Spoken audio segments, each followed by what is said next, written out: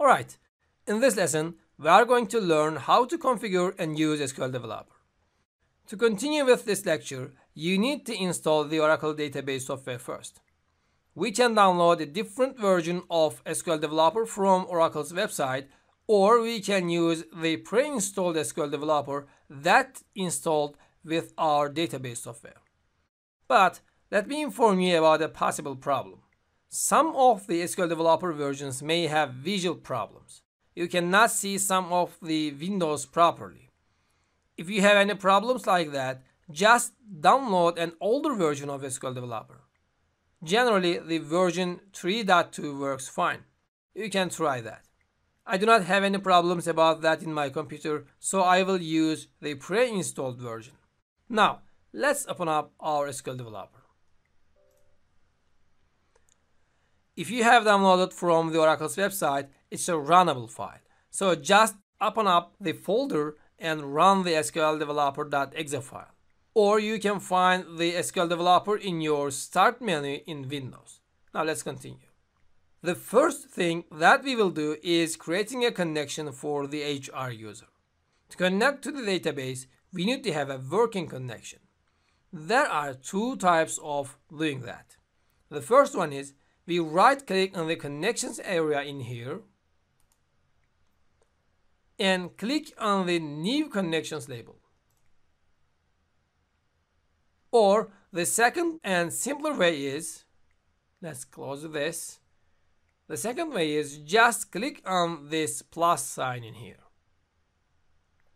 Both way results the same. It's up to you. In the new window here, we need to write our connection name first. As we are going to use HR schema in our lectures, we will write HR in here. You can write any name in here, it's not so important, but I recommend you to write HR to understand easier which connection it is. The second thing that we will write is our username. The schema that we will use in our courses is HR. So you need to write HR in here. Now, we will write our password. Our password is HR. Now, I need to say something important in here. Passwords are case sensitive in Oracle. So be careful on writing lowercase to avoid invalid password errors. So I simply write HR with lowercase. Now, we are creating a connection with the HR user. If you need to create a connection with system user, you can write system for username and 123 for the password. 123 is the password that we assign while we are installing the database. If you wrote another password, you need to write that. But for now, we all write HR in connection name, username, and password areas. The next step is we will change the connection type. There are many connection types, but we are using TNS in our lessons. So I'm choosing TNS. Now we need to choose the network alias. When we open up this list, there are three options. Listener ORCL, ORACLR connection data, and ORCL. The name is ORCL because, as you remember, we specified our database name with ORCL. If you wrote another name, you will see another name in here. But you must see three options. If you cannot see three options, that means you did something wrong or your database does not work now. Just go to the services in your operating system and be sure that all the Oracle services are running. Let's check it with you.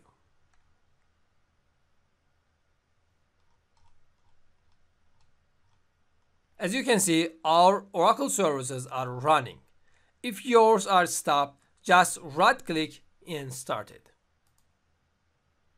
Now, let's close and turn back to our SQL Developer. Whatever you see in here, you need to select the very last one, the third one from the top. So we select ORCL in here. Perfect. Let's test our connection. We can see that the account is locked. If you see success in here, no problem. But if you see that the account is locked, you need to do one more step. To solve that problem, we need to open up the command prompt first. If you are using Linux, you need to open the terminal. Now, you need to write what I write carefully. The first thing that we will do is to connect SQL Plus. With connecting to SQL Plus, we can run SQL queries in our command line. So I simply write SQL Plus as sysdba.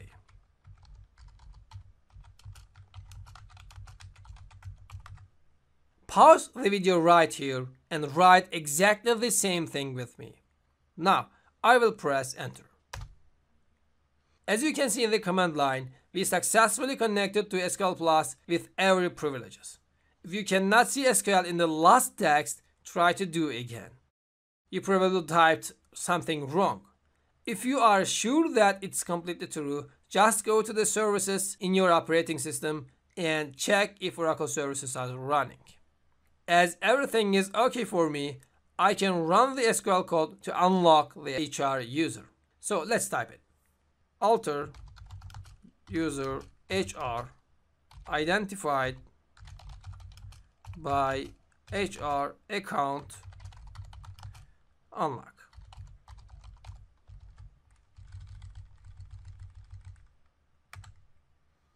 You need to be sure that you typed everything just as you see in here. Type everything with lowercase and do not forget to write a semicolon at the end. Now pause the video again and recheck if you typed everything correct. If you did right, let's press enter. Perfect. If you see that user altered, that means we successfully unlocked the HR user. Our job is done in here. Let's turn back to SQL Developer and try to connect again.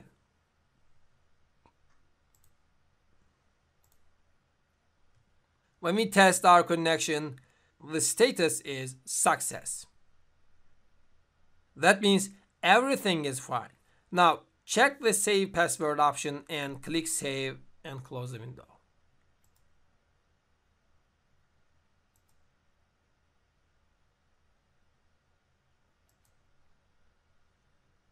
As we can see, our connection appeared under the connections area in here. There are two ways to connect our database. The first one is we can right click on the connection and select the connect option.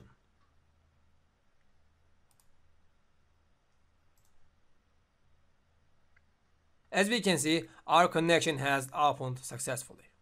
Or the other way is we can click on this green icon in here and select OK. These are the same, just two options. So, how do we run our query? At first, we need to write a query. If you are new in SQL, just do not mind what I write in here. Just write exactly the same. If not, you already know that.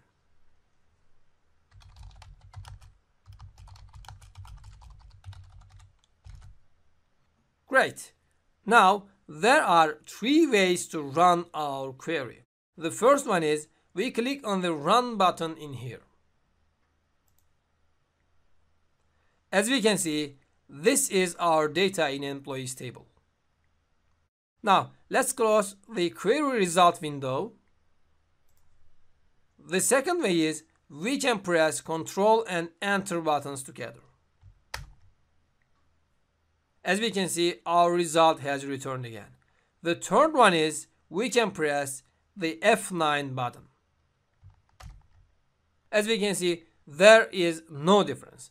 In every run, we do the same thing and we have the same result. If you did everything correctly, now you are ready to work with SQL Developer. There are a lot of properties of SQL Developer. You will see most of them in our lectures when I do that, but what I showed in this lecture is for successfully configuring your SQL Developer. So this is the end of SQL Developer Basics. See you in the next lesson.